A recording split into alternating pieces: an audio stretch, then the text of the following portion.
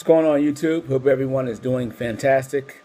Um, I'm going to read you this email and uh, before I get there, uh, let me just set this email up of what this email is referring to, uh, what this guy was replying to. I was on vacation for uh, two and a half weeks. I went down to um, uh, Straightway, the Straightway Truth Ministries. Uh, their, I guess you can call it their headquarters um, for what's called Passover. Um, but that's not what this video is about. But you can go check out um, uh, uh, Pastor Dow, which he's up there in, in uh, up in the corner of my videos to check out if you want to learn more about that. But I told this company that I'm leased to that I'm taking some time off, um, and then I will be back on May 2nd. Um, and you know they had no problem. They say, okay, well, no problem. Just give me a call you get back. No problem. Big, no big deal. Uh, so I call them, and I called them on Thursday, the Thursday before uh, that Monday where I was supposed to, you know, pick up this load. And I asked them. I said, uh, "You got that load ready for Monday?"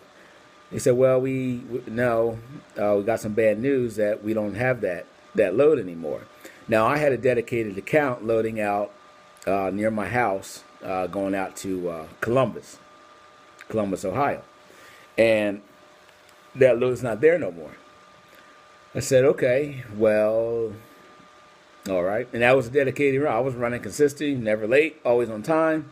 Been doing it for the last couple months. Now all of a sudden it's gone. But I, I, I know what's going on. But you know, uh, we'll just leave it like that. But so I said, well, what do you got? They said, well, we got this load coming out of Jersey going back to Ohio. All right, well, what's it pay? Uh, $477.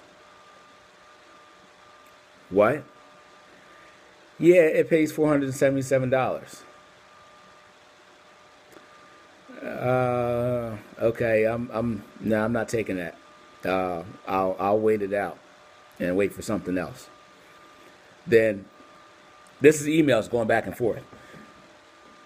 So then they come back again. Uh, know, well, all the loads out there are, are really paying much and blah, blah, blah, blah. I'll just wait it out. No big deal.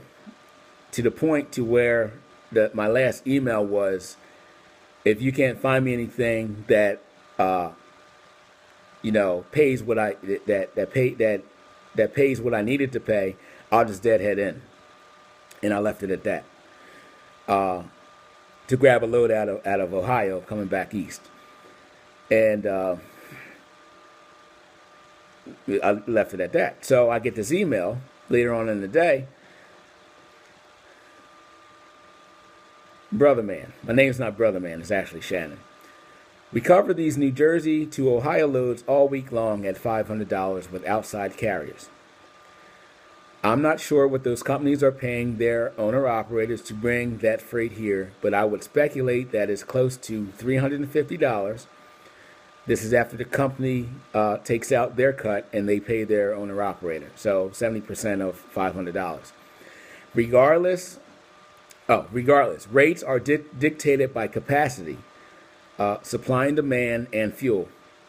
Um, meaning that uh, if there's more trucks than there are loads, then the ratios are off to where the shipper will uh, get away with charging less or get away with paying less to get their freight moved uh, and fuel. Okay, since uh, quarter Q2, quarter number two of 2015, we had a significant excess capacity too many trucks, not enough loads. And of course, you see what the fuel is doing every time you drive past the fuel marquee. Excuse me, the fuel sign. Uh, yeah, fuel's going back up. So, I, I mean, I don't, let me just keep reading. It is what it is. As much as we want the highest paying freight for our fleet, it just isn't there to be had. As far as the rate per mile, yes, we have had a few, hold on, I'm going to stop here. that load paid $477 they were trying to give me. now, after I factor in miles from leaving my house, it wasn't that far. Factor in from leaving my house, going across the bridge in Jersey, going to the destination, getting loaded, going back across the bridge where there's a $37.50 toll, then uh, jumping on the turnpike, even if I went across 80 or went across 68, either way, you know, it's still going to cost me, right? So my figure came out to uh, 95 cents a mile, which was actually less than that. But I just put 95 cents in a mile just to give them the benefit of the doubt. Because um, they didn't give me an exact location where it was going. So they just said Columbus, Ohio. So uh, I gave them the benefit of the doubt. But still, uh, so let me keep reading. As far as the rate per mile, yes, we had a few guys come in at 70 cents per mile this week to help cover their fuel costs. I'll read it that part again. As far as the rate per mile, yes, we have had a few guys come in at 70 cents per mile this week to help cover their fuel costs. to help cover their fuel costs. So it didn't cover all of their fuel costs. It said to help cover their fuel costs. All right. You can't run a truck for 70 cents a mile. You can't run a truck for 80 cents a mile. You can't run a truck for 90 cents a mile, maybe a dollar a mile. Anything under that, it's you can't it even if the truck's paid off, you can't do it. Get your calculator out. Calculate costs, all your costs, taxes, insurance, uh, uh, tags, um, your your 2290, you know, your IFTA, um, and then you know the list goes on. You know, you go, you got to take. Well, you don't pay for that every week. No, you don't. But you know, you gotta. There's a certain operating cost that you need to uh, uh, maintain, you know, when you when you're accepting freight. You know, when it come when you uh, take a, a, dollar per mile when when you calculate your dollar per mile, say it even like that. So now he's referring to now back to the email. Uh, he says 95 to 90 cents, six, six cents per mile. Then he puts a question mark. As terrible as that sounds, yes, that's about as good as it's going to get until either load volume increases and or most carriers go out of business and capacity tightens. Is this only stressful for me? Well, if, if you're running your truck, if it costs more to run your truck than what the loaders are paying, of course you're going to go out of business. Let me keep reading. Uh, where was I at? The part that always makes me shake my head is that when folk don't like, let me restart. The part that makes me shake my head is that when folks don't like the rate, but they are willing to deadhead in for nothing. I've had drivers tell me that they would rather take zero cents per mile, and I try to explain to them that they are actually running at a negative. I want to stop right there. Yeah, they are running at a negative. So when you get your outbound load, the load that you're okay, let's say you, you deadhead to a, a couple hundred miles to get a better paying load. Well, the load you calculate a lot of times that load that comes that that profitable load that you're going you're deadheading to, it will cover the expense of your deadhead miles.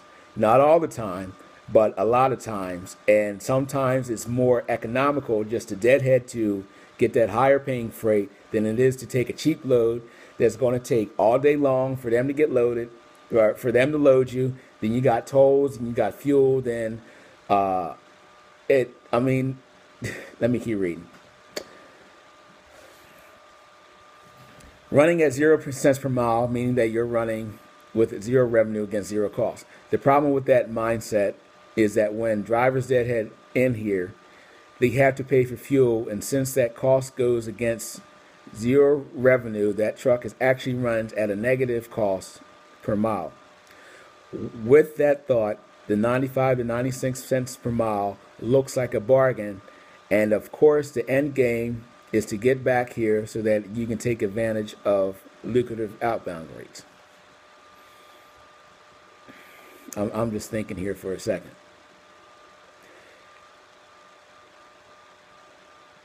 If I run, if I deadhead 400 miles, it would probably cost me about 60, let's see, five, about $60 worth of fuel. Um,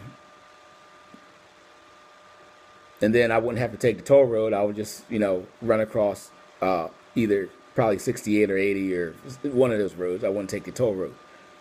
Uh, so I lost out on 60 cents. Now, if I took that load for $477, uh, it would have ate up all my time, right?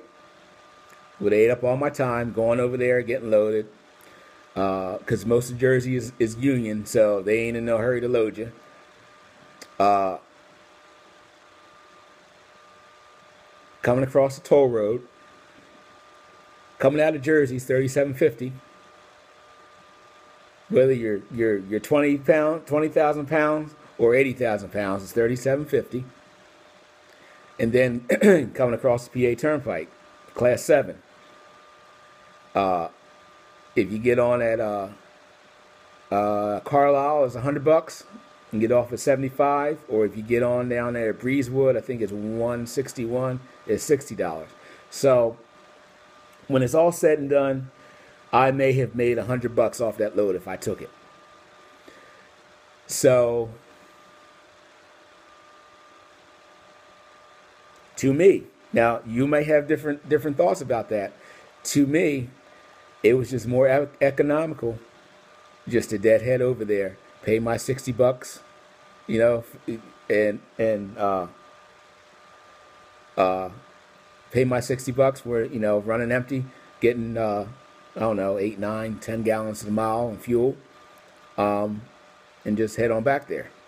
So, I mean, these are some of the things that you have to look at, uh, when you get into the, uh, owner operator business. Uh, does that mean I have everything together? No. Uh, does that mean that I know everything? No. It's just that you know you you got to look at the big picture. Um, uh, so let me keep going. I guess my point is that. I guess my point is that until capacity changes in the industry, this is what we are left to deal with. Our long term successful operators recognize this market and usually take inbound loads to help cover fuel and keep moving. We are always looking out for the best interests of our drivers, and that is why we offer someone like you our customer freight. I made uh, let me let me I'll stop right there. I made a video about keeping the left door closed and uh, I forget what the title is. Something about keeping the left door closed and keeping it moving, or something like that. I don't know. They know this. They know that I'm in and I'm out. I'm not hanging around. You know, I, I when the freight's there, I move. Um, we'll just leave it at that. And they know this in the office. Uh, uh, where was I at? Mm, I'll read that start start right there. We are always looking out for the best interests of our drivers, and that is why we offer someone like you our customer freight since it usually pays more than what a broker will give us. So and so mentioned that you look look for your own freight too. Yeah. Uh, they got tired of me complaining, so they said, "Well, I just asked them. I said, "Hey, can I look for my own freight?" And they said, "Yeah." Uh, you know, they just got to get it clear. You just they have to call us to make sure the broker is okay to work with. So, and that's, I didn't say it in the video, but that's another hidden stream of income, you know, in that, that video that I put out is just going, if you're working for a small company you know, you can ask them if you can uh, get on the load boards and pick your own freight. Whew, I should be charging for this stuff. If you find something, and back to the email. If you find something better, then then if you find something better, then take it. Like I said, I can move this customer freight all day long. Our job is to keep you moving and make you as profitable as we can. Not at 90 cents a mile, 95 cents a mile. That ain't happening. Excuse me. With that being said, we are at the mercy of the market, whether times are good and bad. Um, so, I mean, I really don't have any more commentary about this email. Uh, every situation is different. Um, somebody may have to take that load that pays under a dollar a mile. And I'm not saying a dollar a mile is great, but um,